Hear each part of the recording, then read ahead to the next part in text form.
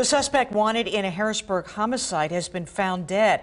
Calvin Waller Jr. was the suspect in the November killing of a man found in the basement of a home on Locust Street.